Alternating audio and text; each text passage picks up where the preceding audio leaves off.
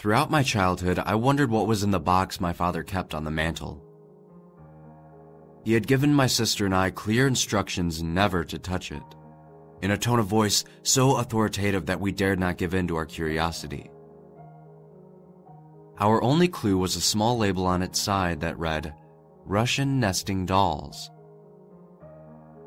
Since none of the other boxes in the house were properly labeled, we weren't really sure what to make of it.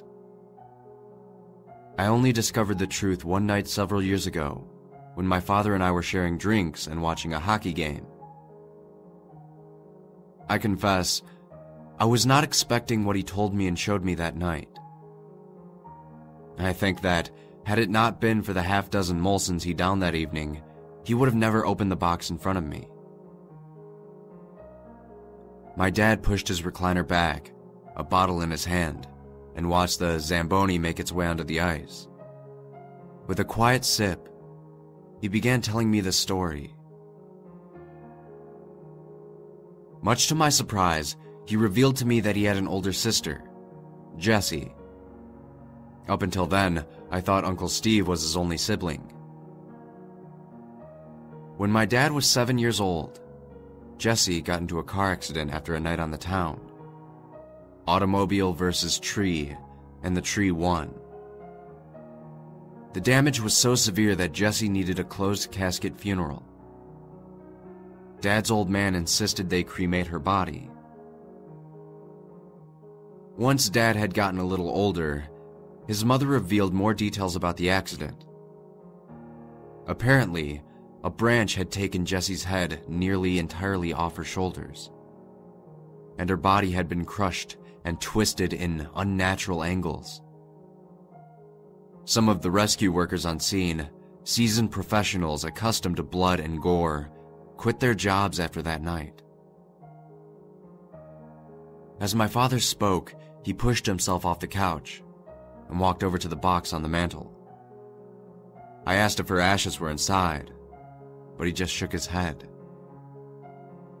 He brought the box over to the sofa, took a seat, and ran his hand delicately against its grainy surface.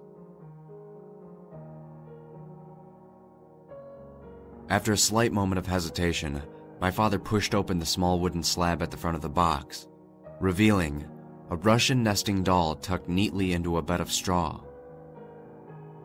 He told me the box had come in the mail exactly 10 years to the day after his sister's death. There was no postmark or return address. He turned the slab over to expose a sentence written in red ink. I will always be with you, it read. The name Jessie had been signed underneath, and the dot on the I had been replaced with a heart. Dad insisted it was her handwriting, and tears welled up in his eyes as he gently grazed the now faded markings with the tips of his fingers. I had never seen my dad get so emotional before. It was a little uncomfortable. I took a sip of beer and leaned closer, examining the doll in the box. It was painted just like any typical Russian nesting doll. A beautiful young woman's smiling face, a floral shawl around her neck, small arms at her sides, a rose on her stomach, and a red base. My father followed my gaze to the doll inside. The game came back on, and he set the conversation aside to watch, his stern face locked onto the screen. Holding my tongue until the break between the second and third periods, I barely paid attention to the television. From the disapproving groans being emitted by my father, I could tell our team was losing again. As soon as the second period ended, I turned to my father and asked him why he never put the doll out on display. He said that he would show me why if I was man enough to handle it. I puffed out my chest in an exaggerated manner. He clutched the doll and pried it open, pulling out the smaller one inside. This one was much creepier than the first but still looked fairly normal. She had all the same features except for two things. She was frowning, and the rose on her stomach was black. Noticing the unimpressed look on my face, he popped the second doll open. The third doll filled me with a sense of unease. Its face seemed more demonic, and small fangs protruded from its painted lips. A thorny vine had replaced the rose on its belly, and her clawed fingers gave her a monstrous appearance. Okay, I was beginning to understand why he never showed these off. My father cringed, not wanting to reveal the next doll, so I offered him another beer to soothe his nerves. A few minutes passed in silence before my father freed the fourth figure.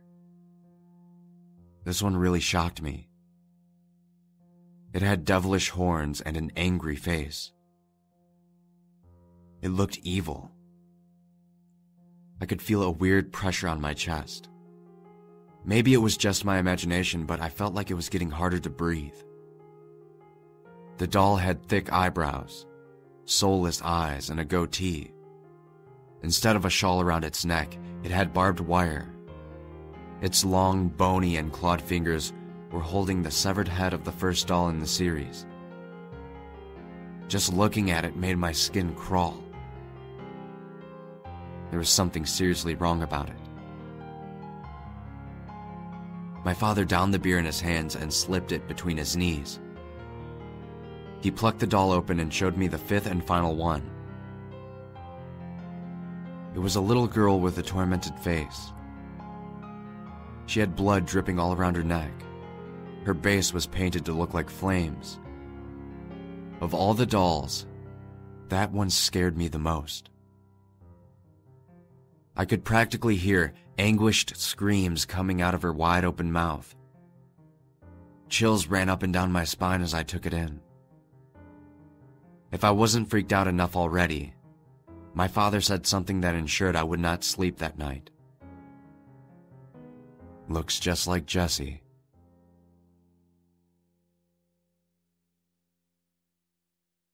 The array of dolls disturbed me greatly, and I cursed my innate curiosity. It was then I noticed a crease in the middle of the smallest doll. Against my better judgment, I asked my father if there was another doll inside. He shook his head. His pained lips turned into a light, almost mournful smile. He carefully opened the lid, revealing something wrapped in yellowish newspaper tied together with twine. He slowly started to undo the knot, and my heart raced faster and faster with each passing second. I wish I could unsee what I saw that night. I knew what it was before my eyes even caught a glimpse of it. It was as though my brain had filled in the blank all on its own Inside the newspaper was a shriveled human finger. It had been ripped off at its base, and a broken metacarpal bone stuck out of the old raisin-like flesh dangling at the bottom. I brought a hand to my mouth and bolted towards the bathroom, expulsing beer and peanuts into the porcelain throne. Why did he keep it? What if my sister and I had seen it? What if it had fallen from the mantel and opened somehow? Did mom know about this? Was it even legal to keep human remains? Between the gurgles and flushes, I heard my dad snapping the dolls shut, one by one. He moved the box to his room the next morning. I never confronted him about it again. One little detail kept nagging at me, and though I tried to forget about the whole thing, I couldn't get my mind off of it. How did his sister send him her finger after she passed away? Maybe my grandmother had found the box in the garage one night and left it out for Dad without checking its contents, but then, how did the finger get inside? I needed to know. Earlier this year, I was watering my parents' plants while they were away on vacation. When I saw the box on my dad's bedside table, I took it home and ordered a DNA test. Along with a few pieces of my dad's hair taken from his comb, I sent a piece of the finger to the lab. I had forgotten all about it until today. It's not like on TV. It can take months to get results. Just so you know, all humans share about 99.5% of their DNA. The remaining 0.5% contains family markers, so to speak.